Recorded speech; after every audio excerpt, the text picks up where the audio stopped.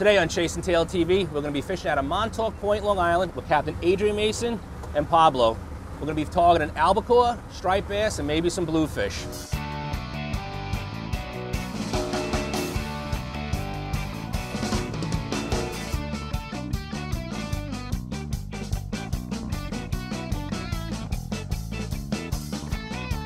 Hey Adrian, what's going on man? Good, good man. Excited to come out today man, it's gonna be a good trip. Good man, good to start loading this up.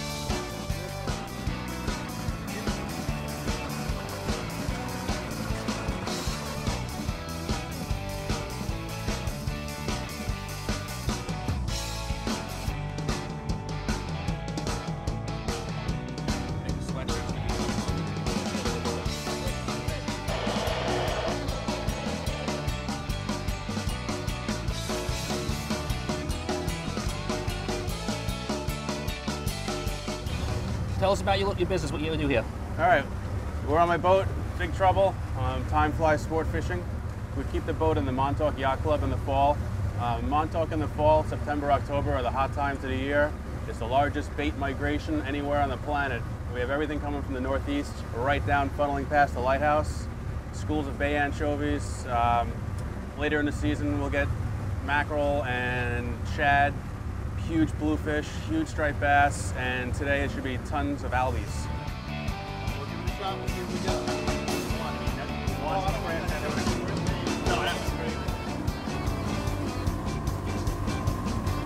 Gotta do this way.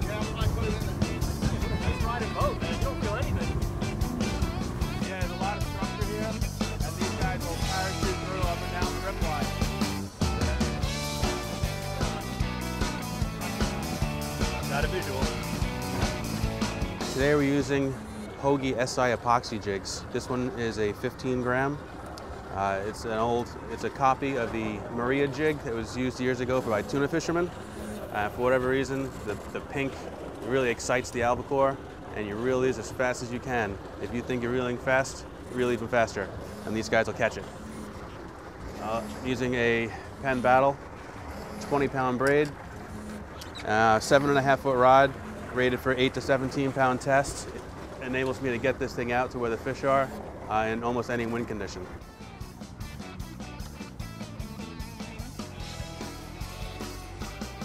I think they're out of casting range right now. Uh, bring us around.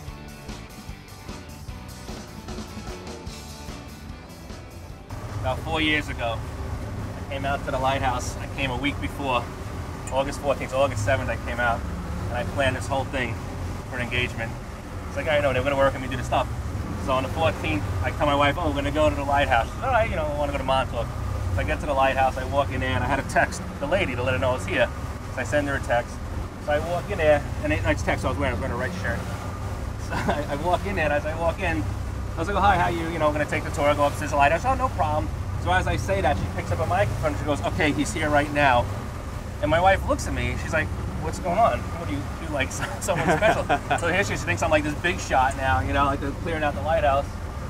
So we go upstairs, they cleared everybody out of the lighthouse. They made everybody leave the lighthouse. I go up the stairs and she's looking at me, she's like, what the hell's going on? she has no clue.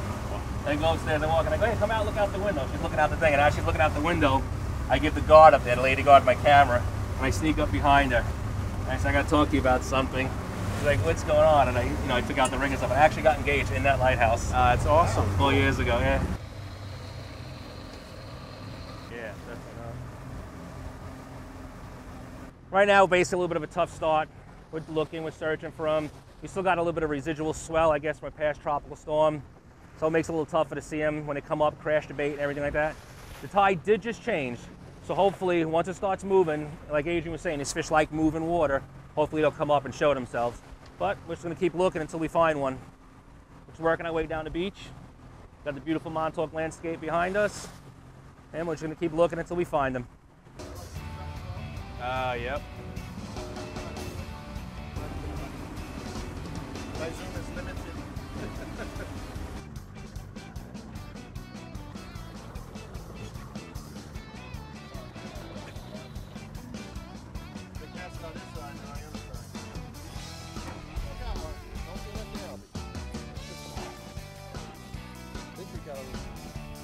Bluey, something here. No blister and run. Yeah, it is a blue. Yellow eyes. So look at him right there. See him over there?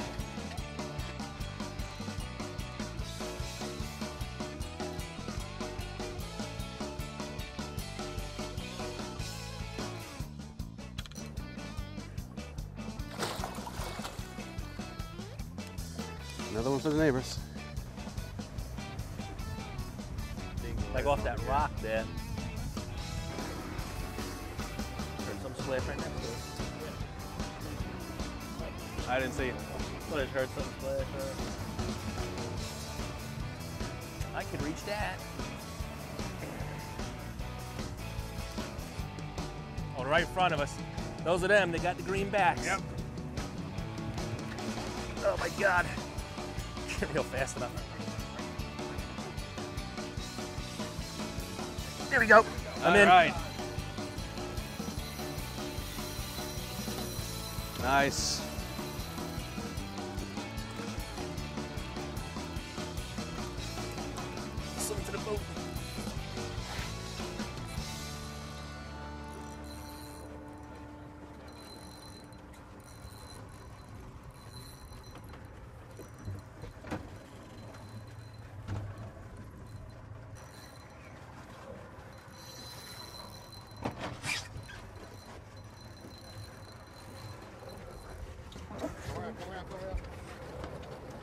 Okay, got him.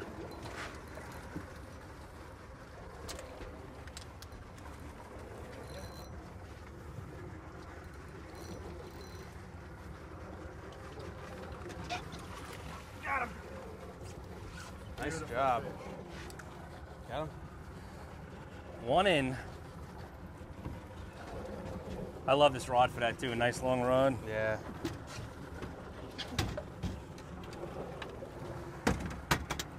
Here we go, Joey. First the day. This is the rod I had with you that day. I was bucktail, and this is such a great setup, man, for an all-around rod. Yeah. And I'm using this tough line, the supercast line. It's coated. It's like less friction between the guys. You know, you don't hear it like the Power Pro. You know, you don't hear that. It's a good line, man. I tell you, I really like it a lot. Cast far, smooth. I mean, it's kind of like having a mono in the reel, but it's a coated super braid. And nothing.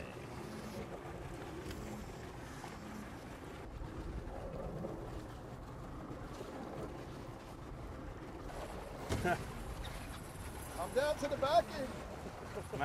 That drag a bit. I did.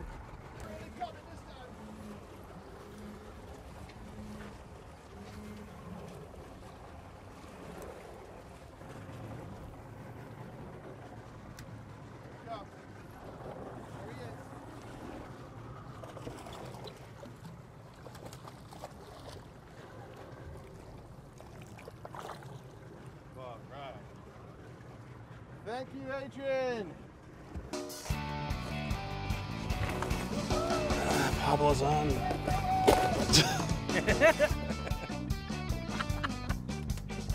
He's nuts.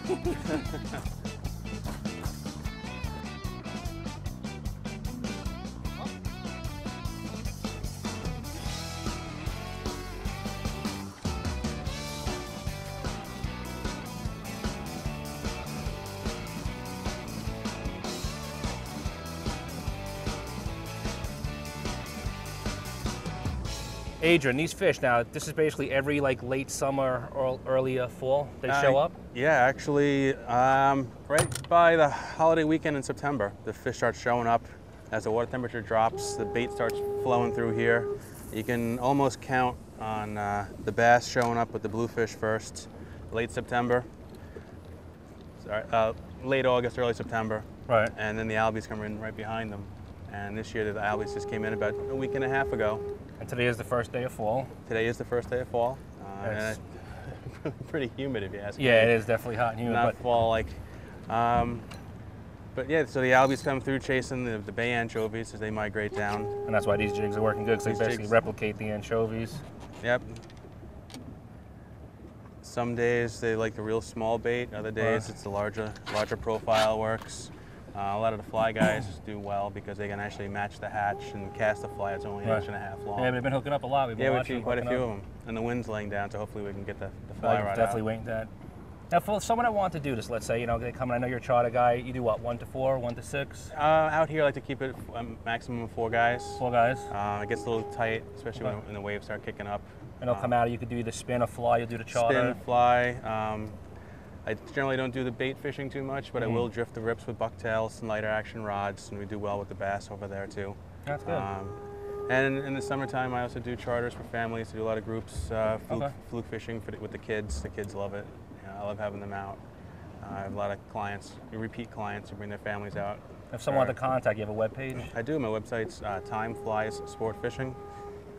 I actually have it on my shirt. Um, and there's all my contact information, email, uh, there's a contact form, and my phone number's on there. So I'm pretty, Excellent. pretty easy to get a hold of these days. The reason why the fly fishing around are doing so well and catching a lot, and the reason why we're using these little jigs is this is what these little fish are eating. These are small baby anchovies. Some people call them rain bait. That's what's in the water now by the thousands, and then just gorging themselves on these things. Come on. Come Oh, on. Look at him on Get a surf- this, look at this.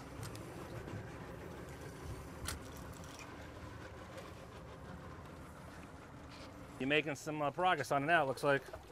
Yeah, almost there. You broke a Still spirit. haven't seen a visual yet. But this guy didn't run toward the boat. He ran away from the boat. Yeah, He said, I'm not going near those guys. There, there he is. there he is. Oh, yeah. Like he's Yeah, snagged. snagged on the side. Yeah, right in this thing. Right underneath. So I got to be careful. Give it unloaded to me because I don't want Unloaded. to. Uh, there you go. There's your answer. Why he was fighting so much. You can see he was snagged. Snagged him by the fin. Give him a little kiss. All right, send him on his way. Nice, beautiful little albacore. Look Bye at, that, bye. look at that design. Well, you can see actually, as Adrian was telling you, all these fins go in to make it pure speed, and it's turned into a little bullet. And then check out these little fins on the back. You, go can see how they, right. they Yeah. little rudders. See how they turn? Isn't that really cool? Watch this, they'll turn. See, it? see that rudder turn? Yep. And his tattoo is just beautiful. All right, you're out. Tattoo you.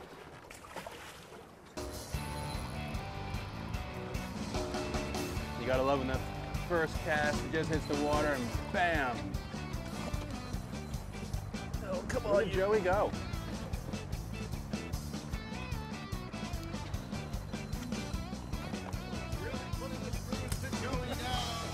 Hey, just put a fighting chair in your boat up here. It's called the LeBon's chair. Big swell. This is my bucktail rod. You get like 40 pound stripes on it. They don't pull trig like this thing does. Yeah, Another beautiful work on skippy, this. albie, whatever you want to call them. Spin up all that rain bait. Yeah, all those little bay anchovies are coming right out of them. Look at a picture right there like this. Put the rod in there.